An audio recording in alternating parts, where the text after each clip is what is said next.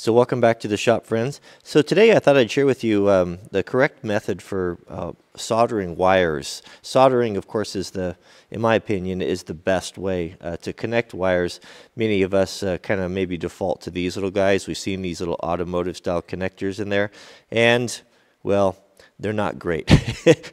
just go look at your trailer after a couple of years being outside using these. You know, there's, they're just they're they're not ideal. Uh, the ideal way though is to solder. It's a little intimidating, I think, by a lot of folks because um, uh, maybe you don't have the equipment or you've had bad bad luck with it. Uh, I'll show you how easy this is to do with just a just a tiny handful of tools, um, and I'll, I'll show you. Let's go into the kit right now there's really just a few things you need in, in your kit. And, you know, it's worth $100 or so. You can put together this kit that'll serve you for a lifetime.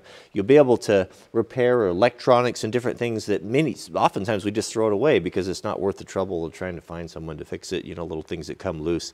Uh, I think it's worth it. So yeah, just get yourself a, um, a soldering gun. Uh, just a, you don't, don't have to get anything fancy. Just these, these Wellers are good. They're probably in the, I don't know, 40 30 $40 range, not very much. You want some rosin paste flux.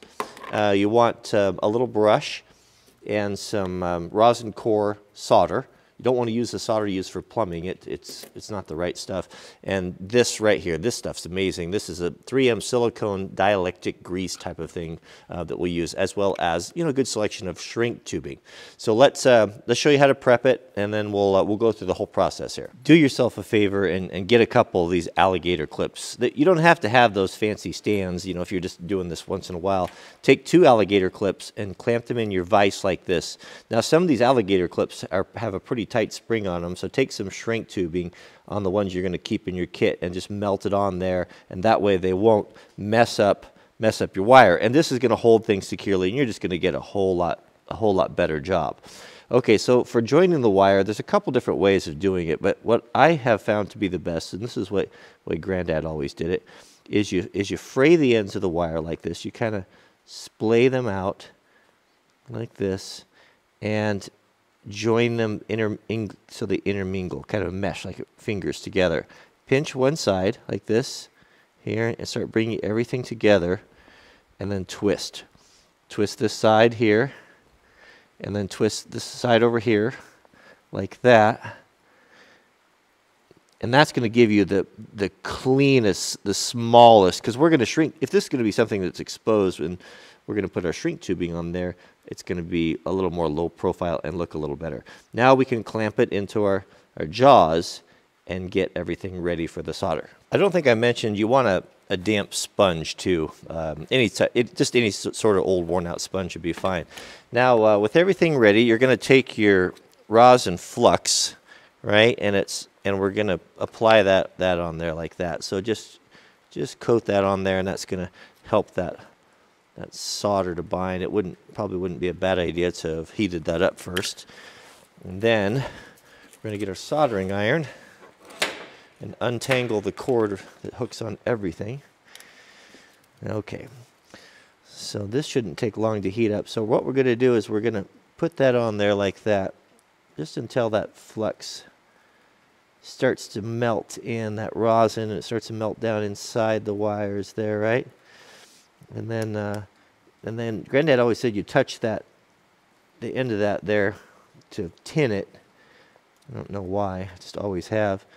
And we're going to heat from the bottom and we're going to start heating that up until this melts.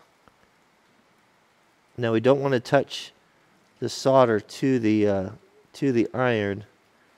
Oh, that took a long time to heat up there.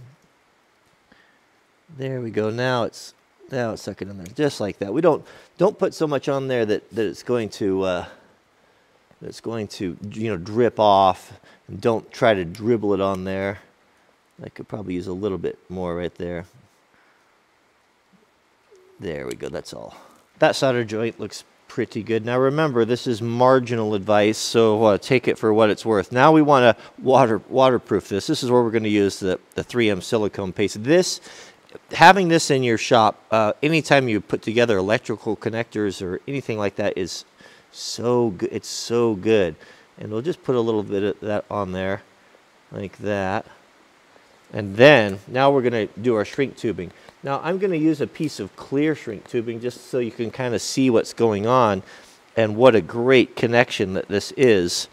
So what we can do here is, once we have that grease on there, now we'll thread our shrink tubing on here like this and try to uh, try to be careful when you, it is to hold that not to scrape all that that silicone grease off there um, but, and just place it like that. Now your shrink tape is going to shrink on the ends about 10%. So I'm always uh, pretty uh, pretty liberal with that and uh, give myself plenty of shrink, uh, plenty of tubing. Uh, now you can use, a, I'm going to use a heat gun. You don't have to use a heat gun. You can use a lighter. You can use a torch. Problem with the lighter and the torch is if you're not really careful, they will, it will tend to uh, burn the wire in the housing. Start from the middle. You're going to start from the very middle and you'll see that that's starting to shrink right there.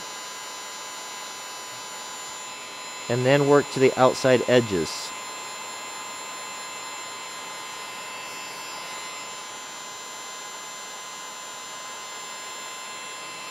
and you'll see I think you can see you'll see that silicone making that seal as it as the shrink tape tightens around the connection. And it ideally you want it to squeeze out like that side right there. Probably should have put a little bit more on the housing but that looks uh, that looks pretty good right there actually now once that's cool to the touch uh, you can uh, clean that clean that silicone off there and you have a really good as good as you're going to get um, a waterproof uh, connection uh, for joining two wires together that's probably going to be tougher uh, than the wire itself. So that's all there really is to it uh, for connecting those. And that, that again, that's going to be your best connection. If you can take a little bit more time and you can solder these with a shrink tape instead of using those blue uh, automotive style connectors, uh, you're, you're, most likely not going to have to go back and redo, redo your electrical work, especially for stuff that's going to be sitting outside like trailers or especially boat trailers or um, there's a lot of water and spray on those and it's pretty hard on electrical stuff. So what I'm going to do, so uh, also I was going to add, so um, a, lot of folks have been asking, what happened to Wrangler Mart?